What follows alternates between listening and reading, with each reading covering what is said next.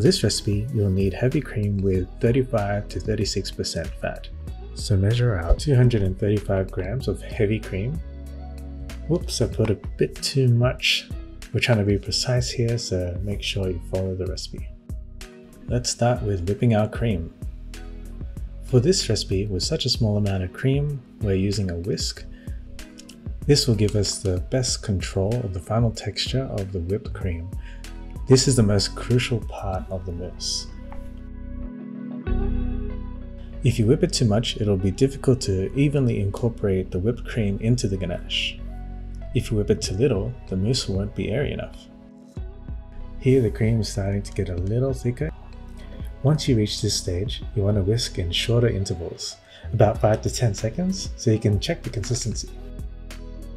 Here's how you tell you have the right consistency.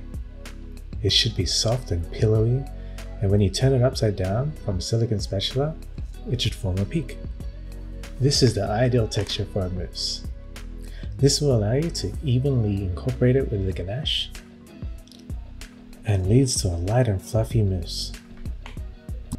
Once you've reached this texture, you can go ahead and store it in the fridge.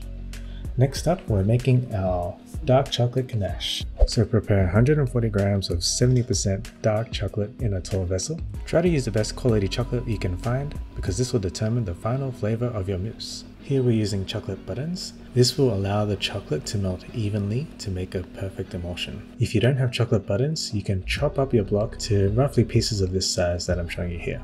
Here we need 63 grams of heavy cream. We need 63 grams of whole milk. And to start off with, we need to bring the milk and cream to a boil. Make sure you get every last drop. Grab a spatula that's obviously too big for the glass, put it to the side, and grab a smaller spatula to scrape up every last bit into the saucepan. Give the mixture a mix. This will make sure the heat distributes evenly. We're looking to bring the entire mixture to a gentle simmer. We want to try to avoid a rolling boil as this will lead to evaporating some of the water content and change the ratios of our ganache. Once it's reached a gentle simmer, you want to pour this over the chocolate. Give it a little swirl and allow it to sit for a minute to allow the chocolate pieces to melt. Here I'm using a hand blender with an emulsifying attachment. This will make sure we have a perfect emulsion. Once the chocolate has rested for a minute, go ahead and use your hand blender to emulsify the mixture.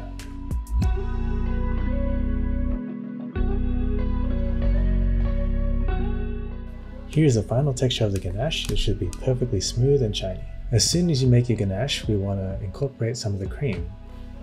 If you wait too long, the ganache will get too cold and will start to crystallize when you start whisking in the cream. This will lead to a grainy mousse. Take part of the cream and mix it into the ganache to loosen the mixture. Then pour that into the whipped cream. Here's another critical part to the recipe. You want to gently fold these ingredients together until it is evenly incorporated. Mm, look at that. So to fold the ingredients together, you want to use a silicone spatula and you want to bring the ingredients from the bottom of the bowl over to the top whilst rotating.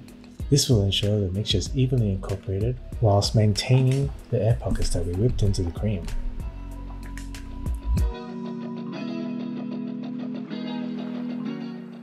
Once the mixture is evenly incorporated, that's it. You have your mousse. Look how beautiful it is.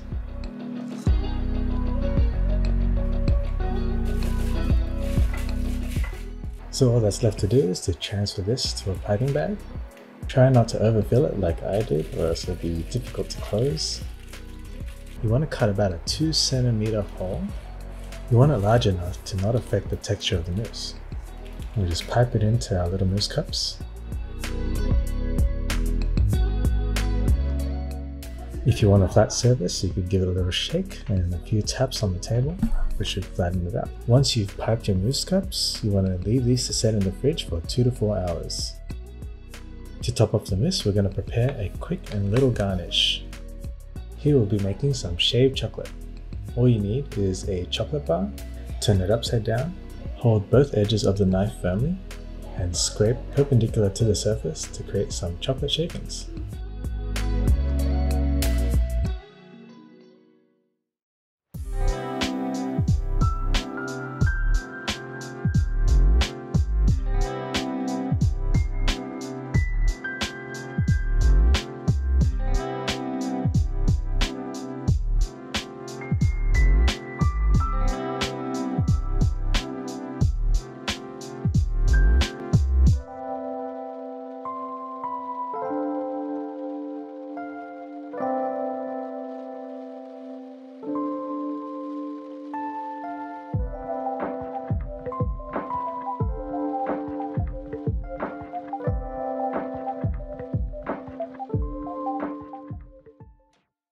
So here it is, the dark chocolate mousse cups. Let's see how it tastes. Mm. Wow. Cheers. Mm. So creamy, super smooth. Nice velvety melt in your mouth feel. So good. Wow. That's one of the best. It's one of the best mousses we've ever had. Yeah. Mm. it's just so satisfying. Three ingredients milk, chocolate, and cream. It's a great dessert. Really rich dark chocolate flavor. You want to taste the subtle notes? This is a great option for you to experience that. Almost dropped it. It's so good. Hmm. There you have it. Thanks for watching. Please like and subscribe and visit dessertisans.com. Thanks everyone for coming. See you tomorrow.